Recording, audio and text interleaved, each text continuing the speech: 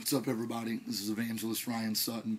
I want to talk to you about Joseph today, about the life of Joseph. And I know a million preachers have, have talked about Joseph, have, have discussed his life, have talked about the process that he went through to see the fulfillment of God's promises and God's dreams for his life. But I want to be a million and one today. I know a million preachers have covered it. I'm going to be a million and one because I love the life of Joseph. I've been so inspired by him. And we've entitled this, this brief message message today from the pit to the palace. If you know anything about Joseph, you know that he was what I call the pet in his father's house. People that have younger siblings know about that. Many times the the younger brothers or sisters get spoiled just a little bit. And it was no different in Joseph's house. Jacob loved Joseph above all of his other sons because Joseph was the product of Jacob's relationship with Rachel. Rachel was Joseph, Jacob's favorite, favorite wife. And so Jacob favored Joseph, gave him a coat of many colors.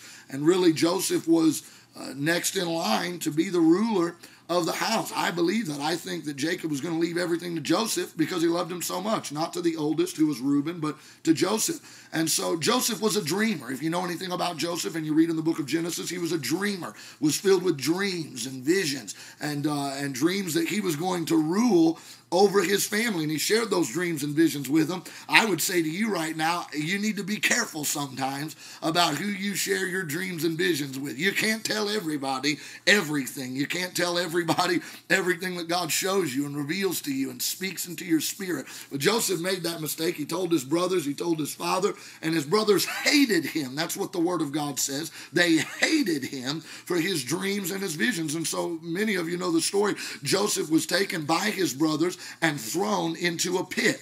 Uh, I, I say there's a process in Joseph's life. He went from being the pet of his father's house to the pit then to Potiphar's, and on to prison, and finally to the palace. And so the Bible says while Joseph was in the pit, his brothers talked about killing him and murdering him, but then they decided not to do it. They sold him into slavery, and he went into the land of Egypt where he became a servant in Potiphar's house. Now, this is what I love about the story. The Bible says that no matter where Joseph went, the favor of God was upon his life. And I want to take a moment right now and tell you, my friend, it doesn't matter where you may be at today, where you find yourself along this journey of life, God says no matter how good things may be or no matter how bad things may be, His will is the same no matter where you're at. He wants to release His supernatural favor into your life. Joseph was in Potiphar's, think about this, in a foreign country, away from his father, away from his family, his brothers, everything that's familiar to him, people speaking a strange language, all of these things, surrounded by foreign gods.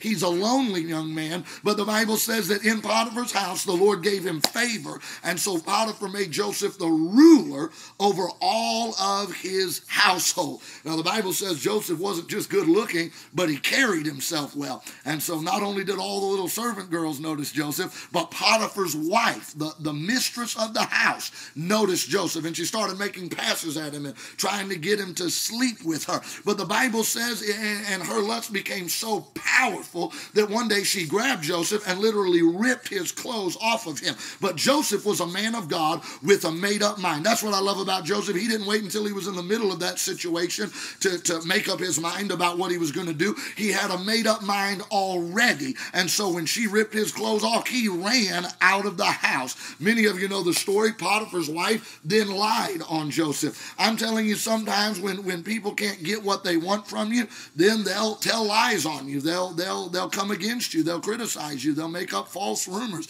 And so it was in the life of Joseph. The Bible says that she falsely accused him, said to Potiphar and all the people in Potiphar's house, Joseph tried to force himself on me. He tried to take advantage of me. And even though it was a lie, Joseph did what was right in the sight of the Lord. He said, How can a man such as I offend my master and offend my God? But when Joseph did what was right, instead of things getting better, things got worse. He went from the pit to Potiphar's, but then because Potiphar listened to his wife, he threw Joseph into the prison, into the dungeon. My friend, have you ever done something that was right? I'm telling you, many times the hardest thing to do is the right thing to do. The right thing to do is the hardest thing to do. Have you ever done what's right? Have you ever done your best to please the Lord and do what you felt like you needed to do? And instead of things getting better, things seem to get worse. I'm telling you, the devil was trying to dance all over Joseph's head, was trying to convince Joseph that he was a failure, was trying to tell Joseph he was never going to amount to anything. Joseph's in prison.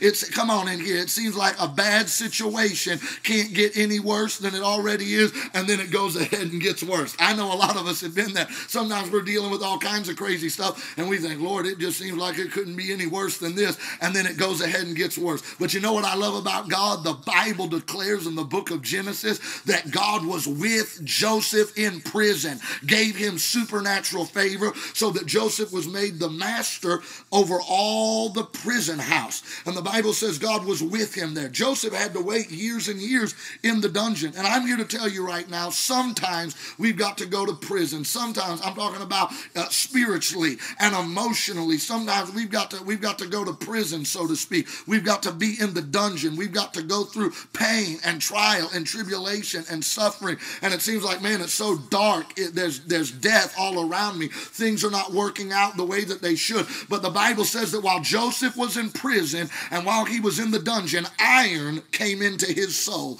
and iron came into his heart. That doesn't mean he got hard hearted and bitter. That means the strength of God so filled his heart that he said, I'm not going to give up. I'm not going to throw in the towel. I'm not going to say, forget all the dreams that God has given me. Oh, the devil wanted Joseph to stop dreaming. The devil wanted to rob Joseph of his vision, but Joseph held on and believed God. You know the story. Pharaoh had a dream that he couldn't interpret because Joseph had interpreted the dream of the butler and the baker. He went from the prison to the palace so fast that his head was spinning. My God, can I tell you a thing right now? Can I speak a word into your life and let you know that whenever God gets ready to promote you, it doesn't matter how long you've been in the prison, it doesn't matter how long things have been bad and seemed hopeless and, and frustrating. When God gets ready to promote you, He can do it seemingly overnight. Joseph came into the palace, interpreted the dream of the Pharaoh, and you know the story. Pharaoh made Joseph the ruler over all the land of Egypt.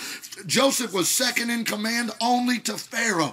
I love to think about the fact Joseph suffered the first 30 years of his life to reign and rule for the next 50 years over what was then the greatest nation on the face of the earth. You know the story. Joseph's brothers came, they had run out of food, and, and, and they, they said to themselves, you know, please give us something to eat. They didn't realize who he was, but then Joseph, he, he went through a whole skit with them, but then he revealed himself to them. And whenever he revealed himself, himself to them, they were worried, they were fearful, they were afraid. They thought Joseph's going to re- repay us for what we did to him. Do you know what I love about Joseph? He was better and not bitter. He said, what, what the devil meant for evil and what you guys meant for evil, God meant for good so that many people could be saved. I want to say to you right now, my friend, I know that what you may be going through is difficult. You may feel like you're in the pit. You may feel like you're in Potiphar's. You may feel like you're in prison, but hold on right now. Don't give up on the dreams that God has given you. Don't give up on the vision that God has placed down in your spirit. God says, I know the plans that I have for you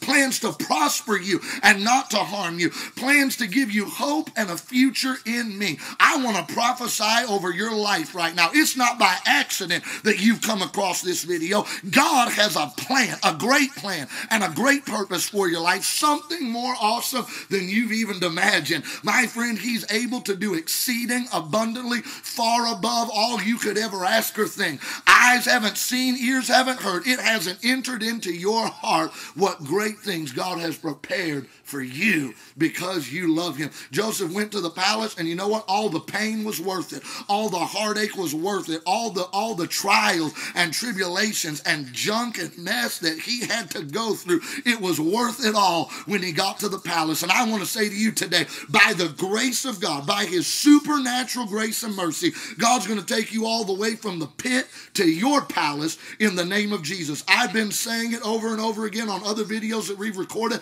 I'm going to say it again right now. Don't you dare give up. Don't you dare throw in the towel. Don't you dare let go right now because God is just about to move mightily on your behalf. I like what King David said. He said, I would have lost heart. I would have fainted. I would have given up unless I had believed to see the goodness of God in the land of the living. Can I tell you right now that you are destined to see the goodness of God in the land of the living? You're not going to die in the dungeon. You're not going to die at Potiphar's. You're not going to die in the pit. You can't go out like this. Not after everything you've been through. Not after all the hell on earth that you've endured. No, my friend, God has a miracle with your name on it. His blessing is going to be released into your life supernaturally by the power of the Holy Spirit. Promotion doesn't come from the north, the south, the east, or the west. It comes from the Lord. It's not up to anybody else but God what He does in your life. He loves you today. He cares about you today, and He's going to show up on the scene and move mightily on your behalf. I want to leave you with this thought right here. It was hard when Joseph waited for years and years and years in the dungeon. It was discouraging. No doubt he battled depression, but he refused to give up on the dream and the vision that God had placed within him. And I want to tell you, sometimes it's hard to hold on. Sometimes it seems like it's been this way for so long, Ryan. I, I, I don't know how it could ever change. I don't know how God could ever turn it around. But I want to speak prophetically into your life right now. God is no respecter of persons. If he did it for Joseph, he's going to do it for you.